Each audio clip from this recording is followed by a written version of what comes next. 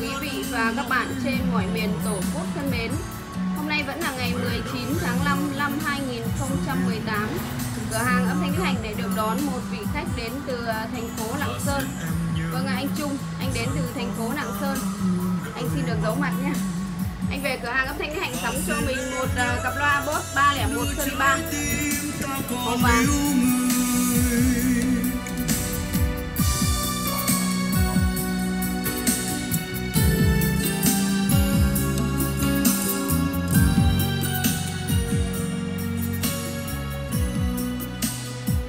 Bên cửa hàng thanh Đức Hạnh và điện tử Quang Ngọc thì à, luôn cung cấp cho quý vị và các bạn những sản phẩm tốt nhất.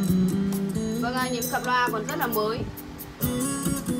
Vâng, à, những sản phẩm này đã được cửa hàng thanh Đức Hạnh và điện tử Quang Ngọc lựa chọn rất kỹ.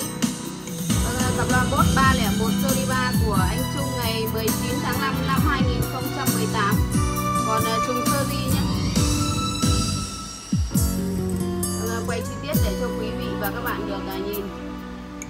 ta tiên em về đi với người.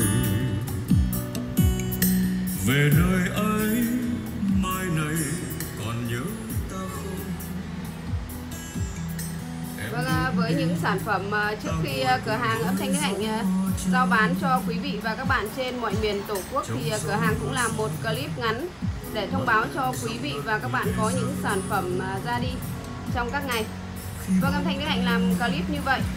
Thì à, quý vị và các bạn trên mọi miền Tổ quốc ưng những sản phẩm bên cửa hàng thì hãy liên hệ trực tiếp với cửa hàng theo hai số điện thoại.